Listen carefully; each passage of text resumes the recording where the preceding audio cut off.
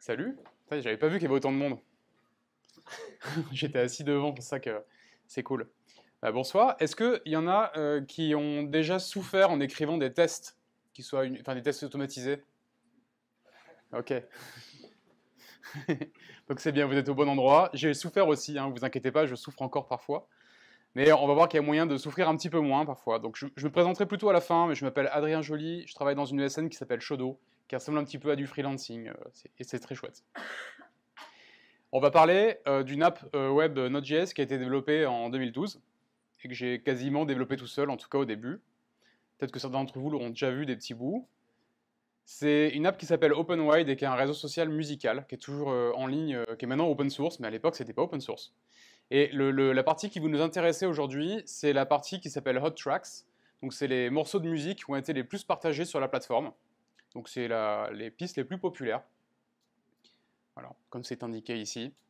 Et je, je, vous rends compte que j'ai une télécommande que je n'utilise pas, ce qui est dommage. Euh. Alors comment on fait pour tester une fonctionnalité comme ça? Donc là, vous vous doutez bien, il y a un serveur web, il y a une interface euh, en front, il y a une API, etc. Ce qu'on aimerait vérifier, c'est qu'on ne puisse pas faire de régression sur cette fonctionnalité, c'est-à-dire que si un développeur fait une bêtise, euh, le Hotrax, il faut qu'il continue à fonctionner. Donc, personnellement, le test que j'aimerais bien écrire, c'est un test qui fait grosso modo ça. C'est-à-dire qu'on on lui dit, imagine que j'ai euh, un morceau de musique qui est moyennement populaire et un autre morceau de musique qui est très populaire. Je veux que le plus populaire, il sorte en premier et qu'il soit suivi par le morceau un peu moins populaire. Donc ça, c'est une description euh, presque littérale de ce que fait la fonctionnalité. Malheureusement, il faut que je m'habitue à ce truc, le code il ressemble à ça. Alors c'est très très moche, on va pas entrer dans le détail, euh, c'est du callback L et tout, c'est bien à l'ancienne. Ce ce qui fait que ça va être difficile d'écrire des tests pour ça, c'est quoi? C'est qu'on a à la fois euh, des appels à la base de données, ici et ici, on a un petit peu de logique métier ici, on a du dead code un peu partout, avec des ignores, etc. Et on a aussi de la logique de contrôleur d'API. Donc c'est-à-dire que quand vous voulez tester ça, grosso modo, il va falloir lancer tout ce qui est assez infernal à faire, et ce qui est lent, et ce qui est fragile. Bon, je vais spoiler, si vous n'aimez pas les spoilers, vous ne regardez pas et vous n'écoutez pas euh, le contenu de cette slide. Qu'est-ce qu'on va voir aujourd'hui? On va voir que quand on a euh, un couplage fort dans son code, ça devient très très difficile et lent euh, d'écrire et exécuter des tests automatisés dessus. On va voir que les mocks, c'est pas tellement une bonne idée que ça. Je vais expliquer pourquoi. On va présenter un truc qui s'appelle l'inversion de dépendance, qui est la partie D du mot solide, si certains l'ont déjà vu, l'acronyme. Euh, on va parler aussi d'approval test, et à quoi ça sert. Et enfin, on va parler de, une fois qu'on a fait tout ce chantier-là, qu'on va décrire pendant le talk, on va voir que les, les tests unitaires, c'est la vie, et comment on fait pour pouvoir les faire facilement. Donc, pour vous faire gagner du temps, vu qu'on n'a que 20 minutes, le code dégueulasse, je l'ai transformé en un code un peu plus lisible, on va voir, on va voir le test qu'on voulait, donc pareil que tout à l'heure, hein. d'abord la piste la plus populaire, ensuite la un peu moins populaire. Et le code, je l'ai simplifié en ça. Grosso modo, on a nos deux, appels à la base de données ici, un peu de logique métier, euh, et je crois que j'ai enlevé la partie euh, API. Donc là, il y a déjà un peu moins de choses, mais c'est surtout du nettoyage et du refactoring. Pour ça, CF, mon talk précédent à Paris.js, où j'ai montré comment faire du refactoring. Le, problème avec, avec ça, pour créer des tests, c'est que ici, on appelle une fonction, qui, elle, fait appel à la base de données. notre base de données, c'est MongoDB. Donc ça veut dire que si vous voulez tester ça, il faut lancer MongoDB. Et ça, c'est un peu pénible. Donc en fait, il y a plusieurs manières d'écrire un test pour ce code. Soit il faut faire ce qu'on appelle de test de bout en bout, c'est-à-dire que vous allez lancer MongoDB, vous allez lancer votre serveur d'API, et vous allez, euh, donc ça va mettre du temps, et vous allez ensuite exécuter votre test en lançant des requêtes. Soit vous faites du test d'intégration, c'est-à-dire que potentiellement vous lancez pas l'API, mais vous allez juste appeler la fonction qui est appelée par l'API, mais il y a quand même besoin d'une DB. Soit vous faites un test unitaire avec des mocks, c'est-à-dire que vous allez écrire un bout de code qui va remplacer MongoDB de manière programmatique, qui va simuler la base de données. Alors, dans tous les cas, ça va être douloureux. La première, elle va être longue et pénible à écrire, et elle va être fragile. La deuxième, euh, ça veut dire que euh, bah, elle, va comme s'appuyer sur la base de données, donc elle va être lente et, fragile aussi. Et la troisième, comme je vous l'ai dit, c'est du, remplaçage de code. Mais dans tous les cas, on va être emmerdé en fait par ces trois options. Euh, donc on en aurait bien trouvé une, une, quatrième. Alors, petite parenthèse sur les mocks, qui était la solution C, parce que je sais que je la vois assez naturellement implémentée par les gens qui se mettent euh, au test. Alors déjà, euh, notre ami Martin Fowler, il nous dirait que c'est plutôt un stub et pas un mock, mais je ne vais pas rentrer dans le débat, je vous laisserai lire le lien dans les slides. Alors, quand vous avez utilisé Jest, parce que je sais que c'est assez populaire Jest pour faire des tests, en gros, vous allez dire à votre test, quand tu vois mon code euh, Node.js appelé MongoDB, je veux que tu renvoies ça à la place. Donc en gros, vous remplacez le package MongoDB par ça. Donc vous faites une fausse fonction find qui, au lieu de chercher dans la base de données, va directement retourner des résultats. Ça, parfois, c'est viable. Par contre, vous allez vous retrouver dans des cas où il y a des tests qui vont faire plusieurs fois appel euh, à MongoDB. Et là, vous allez être emmerdé parce que vous ne pouvez pas retourner à chaque fois le même résultat. Sinon, votre test, il n'a plus aucun sens. Donc vous vous retrouvez à faire des if partout dans votre mock. Donc votre mock, au bout d'un moment, il devient plus pénible à, maintenir que la code base que vous voulez tester, ce qui est quand même un comble. Donc, pour résumer, le problème des, stubs, donc des mocks, c'est qu'en fait, vous, allez euh, vous prendre la tête sur des détails techniques qui sont bah, la logique de la base de données, au lieu de vous focaliser sur ce que vous voulez vraiment tester, ce qu'on appelle la logique métier. Parce que classer euh, des, morceaux de musique dans l'ordre, c'est pas de la logique technique, c'est de la logique métier. Et c'est ça que vous, voulez, que vous voulez assurer. La partie MongoDB, elle vous intéresse pas. Les petits dangers à savoir sur l'usage des stubs, c'est que si euh, en fait vous changez la structure de votre base de données, par exemple vous ajoutez une colonne, vous supprimez une colonne, euh, il va falloir réécrire les tests et ou les stubs. Ça c'est chiant. Si jamais euh, MongoDB, euh, il y a une nouvelle version qui sort, elle a une breaking API change, et donc euh, il faut utiliser les fonctions de manière différente, ce qui s'est passé il n'y a pas très très longtemps, il va aussi falloir réécrire les tests et les stubs. Et bon, c'est jamais très agréable à faire. Et ça va avoir un deuxième effet qui n'est pas terrible non plus, c'est que si c'est relou d'écrire les tests et les stubs, eh ben, personne ne va vouloir changer la structure de la base de données. Et ça, ça veut dire que votre codebase, elle va très très mal vieillir, parce qu'au bout d'un moment, il n'y a plus personne qui va comprendre le modèle de base. Et pareil, si euh, le, fait, de update MongoDB, ça casse tous vos tests, vous n'allez plus vouloir mettre à jour MongoDB. Donc en gros, potentiellement, votre application va devenir pas safe. Au bout d'un moment, il y aura des problèmes de sécurité et des problèmes de maintenance. Donc, la conclusion de ça, c'est euh, les mocks, les stubs, euh, bof. L'idéal, ce serait qu'on puisse tester la logique métier, et pour ça, que la logique métier ne dépende plus de MongoDB. Donc on puisse découpler les deux. Alors ça tombe bien, on va voir comment faire. L'inversion de dépendance, le fameux gros mot. Qui sait ce que c'est qu'une inversion de dépendance? Ok, vous avez bien fait de venir aujourd'hui, vous allez apprendre un truc. Alors aujourd'hui, regardez à quoi ça ressemble les dépendances de notre application. On a un truc qui s'appelle getHotTracks, donc qui est notre fonctionnalité. Ce truc, il dépend d'une fonction qui s'appelle fetchRankTracks, qui lui parle à la base de données. Donc on a une fonction qui appelle une autre fonction, qui appelle la DB. Nous, ce qu'on veut faire en inversion de dépendance, ça consiste à dire que getHotTracks, elle n'appelle pas directement fetchRankTracks. C'est comme ça qu'on fait pour les décorréler. Et pour faire ça, le pattern, il consiste à dire getHotTracks, il va définir une, interface. Donc ça, on pourra le faire, euh, malheureusement, il faut utiliser TypeScript hein, pour pouvoir faire un truc comme ça. Je ne pense pas qu'en JS, on peut le faire, proprement. Donc il va définir une interface qui dit, moi je veux une fonction qui est capable de récupérer des tracks. Je me fous de savoir où est-ce qu'elle va les récupérer, je veux juste lui passer ça comme paramètre, et je veux qu'elle me retourne ça comme retour. Le reste, ça ne m'intéresse pas. Et ce qui va se passer, c'est que quand vous implémentez ensuite le fetch rank tracks, vous allez dire cette fonction implémente cette interface. Et c'est au moment où on va lancer euh, notre, notre API qu'on va venir brancher le fetch rank tracks sur le get hot tracks. C'est seulement à ce moment-là qu'on va brancher les deux fonctions. Le reste du temps, elles ne sont pas corrélées. L'avantage de faire ça, c'est que votre logique métier se retrouve séparée de ce qu'on appelle les détails euh, techniques, les détails d'implémentation, ou la couche de persistance, donc ce qui est à droite euh, du, du, graphe ici. Et comme je vous le disais, la, partie implémentation DB, ça va être branché au moment, au, runtime, au moment où on va lancer l'application en production. Avantage de ça, c'est quand vous allez écrire des tests, vous pourrez le brancher ailleurs que sur la, DB. Alors je vous montre comment ça se passe dans le code. Euh, là, imaginez votre getHotTracks. En fait, pour pouvoir faire votre, pour pouvoir faire votre appel ici, il va suffire de, dire bah, que la fonction qu'on appelle ici, il va falloir la fournir en paramètres. je sais que ça peut paraître un petit peu bizarre, mais l'avantage de ça, c'est que quand vous appelez la fonction, vous lui dites en gros comment il faut qu'il s'y prenne pour récupérer la data. Et donc, comme je le disais tout à l'heure à l'oral, quand vous êtes en prod, vous allez dire que le fetch rank tracks que vous passez en paramètre, c'est celui qui est branché sur MongoDB. Et quand vous êtes dans vos tests, vous allez dire que le fetch tracks, c'est juste une fonction bidon qui retourne un tableau. Comme si c'était votre DB, mais sans la DB. Et comme d'habitude, votre fonction elle pourra euh, être appelée euh, avec un await comme ça marchait avant. Donc là, oncle Bob, il est, content, c'est lui qui a inventé l'inversion de dépendance. Pour lui, forcément, il est convaincu. Il va vous dire, bah, l'inversion de dépendance, non seulement elle vous facilite l'écriture des tests, parce que vos tests ne dépendent plus de, la couche d'infrastructure, donc elle ne dépend plus de MongoDB, dans notre exemple, mais en plus, vous avez euh, séparé votre logique métier de votre logique d'infrastructure dans votre code, donc il va être plus facile à maintenir.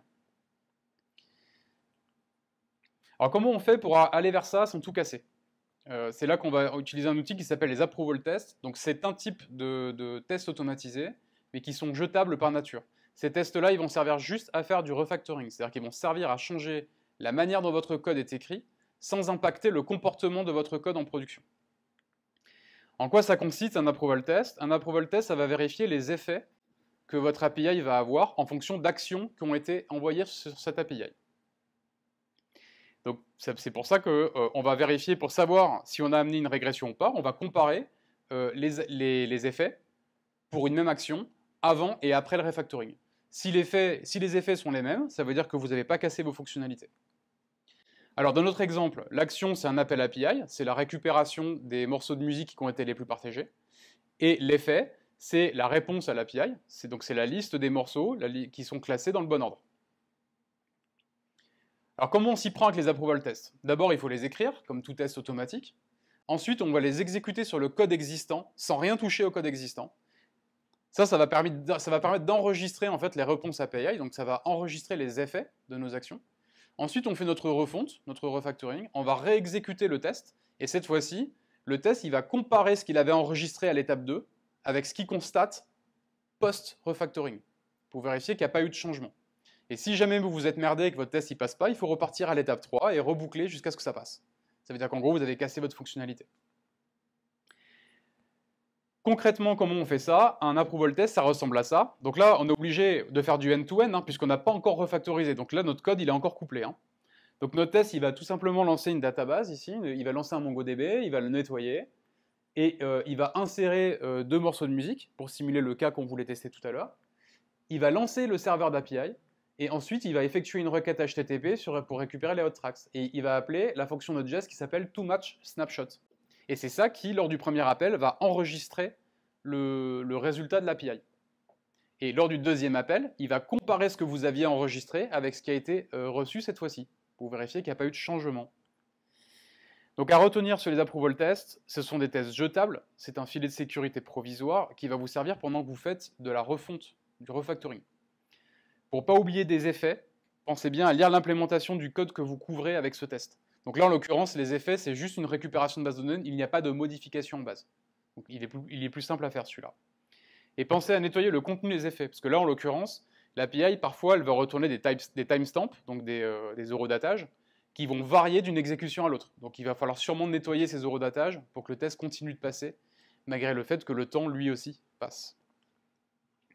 Alors maintenant qu'on a notre couche de protection, on a un filet, on va pouvoir y aller, enfin.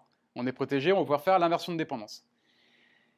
Toutes les étapes de préparation, je vous les ai déjà faites. Hein. Écrire les approval tests, retirer le code mort. Vous vous souvenez, la première version de la fonction qui était dégueulasse, celle d'après était plus propre. Donc ça, ça correspondait à enlever le code mort, utiliser async await.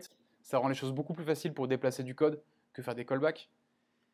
Euh, renommer les fonctions, par exemple, pour dire euh, cette fonction, elle va vraiment dans la DB, cette fonction, elle ne va pas dans la DB. Donc euh, vous pouvez en profiter pour rendre explicite vos autres fonctions. Ensuite, on va écrire un deuxième test qui lui va être un test unitaire, qui est le test de nos rêves. C'est le test le plus simple possible, qui n'a pas besoin de lancer MongoDB et qui n'a pas besoin de lancer l'API. Et il va nous servir de moniteur. C'est-à-dire que ce test, il ne va passer que quand notre refactoring sera réussi. Au début, il ne passera pas. Et ensuite, vous pourrez y aller pour le refactoring. Et on aura réussi une fois que le test passe. Quand on aura fini, on pourra supprimer nos approval tests, nos fameux tests provisoires. Donc je vous montre à quoi ressemble le test unitaire qui doit passer à la fin. Donc là, j'en ai mis deux. Vous voyez que là, il n'y a plus de MongoDB, il n'y a plus de serveur API. Hein. Il y a juste euh, deux morceaux de musique, l'appel à la fonction et une comparaison avec ce qu'on est censé recevoir. Là, il n'est plus question d'API, il n'est plus question de MongoDB. Donc comment on fait notre euh, inversion de dépendance? Donc là, on a notre vieille fonction qui fait appel à fetch qui se trouve dans le même fichier. Et bien ce qu'on va lui dire, c'est que désormais, fetch il va être passé en paramètre de notre fonction getHotTracks. Donc il faudra évidemment penser à, changer les appels à cette fonction, puisqu'il y a un nouveau paramètre à, lui passer, dans votre code de production. Une fois que vous avez fait ça, normalement, votre test unitaire va passer, puisque votre fonction est appelable sans MongoDB.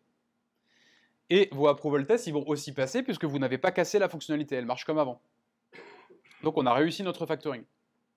Donc là, on est dans un état où on a des tests d'approval qui fonctionnent, qui testent à la fois la logique métier et la couche de persistance, on a un test unitaire, pardon, deux tests unitaires qui testent la logique métier seulement. Par contre, il nous manque, pour que la boucle soit bouclée, il faudrait qu'on teste aussi la couche de persistance. Pour ça, vous n'aurez pas trop le choix, il va falloir faire ce qu'on appelle des tests d'intégration. Vous allez écrire des tests qui vont avoir besoin de se brancher sur un MongoDB pour vérifier que les requêtes marchent comme elles devraient. L'avantage, c'est que vous allez le faire qu'une seule fois par fonction, et non pas euh, une fois par feature et par cas. Donc il y aura moins de tests à écrire. Une fois que vous aurez fait vos tests d'intégration, vous pouvez mettre à la poubelle vos approval tests. Ce sera plus chiant à maintenir qu'autre chose, donc autant s'en débarrasser et s'appuyer sur les tests unitaires euh, magnifiques qu'on a écrits tout à l'heure. En conclusion de ce talk, qu'est-ce qu'on a appris? On a appris que euh, quand les tests sont pénibles à écrire, à exécuter et à maintenir, première chose, je vous recommande d'éviter autant que possible d'utiliser les stubs, donc d'utiliser jest.boc quand c'est possible. Pour ça, donc euh, l'alternative, c'est de réduire le couplage entre logique métier et la couche d'infrastructure, par exemple la base de données. Pour réduire ce couplage, comment on fait? On peut employer une technique qui est l'inversion de dépendance. Donc là, je l'ai fait par injection, mais il y a d'autres manières de faire. Ce que j'appelle injection, c'est tout simplement passer la, fonction de, persistance en paramètre de la fonction qui représente ma fonctionnalité. Mais il y a d'autres manières de le faire. Et pour prévenir les régressions, euh, pendant le refactoring, vous allez utiliser des approval tests pour vérifier que vous n'avez pas cassé votre site, tant qu'à faire. Et une fois que, euh, pour pouvoir enlever ces approval tests, on va faire des tests séparés d'une part pour la logique métier et d'autre part pour la couche de persistance, MongoDB. Et normalement, euh, vous serez couvert malgré le fait que vous aurez supprimé les approval tests. Merci pour votre attention. Je présente vite rapidement la boîte pour qui je bosse. Je suis coach tech dans une boîte qui s'appelle Shodo. C'est une ESN qui euh, a un fonctionnement assez similaire euh, au freelancing, sauf qu'il y a une communauté qui est assez forte avec qui on peut partager des pratiques, partager même des clients avec qui bosser.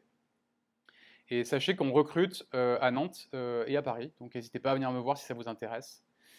Et, sinon, quoi vous dire d'autre? Les slides, vous pourrez les retrouver sur le, site, euh, sur le GitHub de ParisJS, mais je suppose qu'on les diffusera aussi par Twitter et autres. Voilà, merci pour votre attention.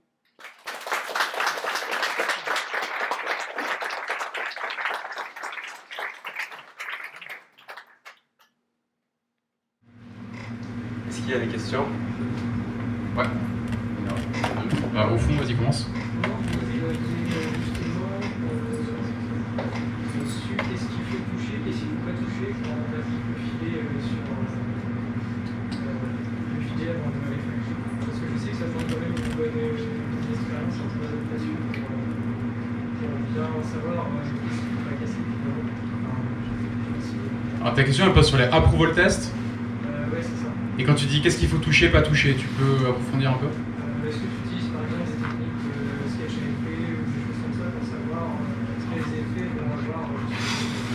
Sketch AMP Je connais pas, donc je sais pas.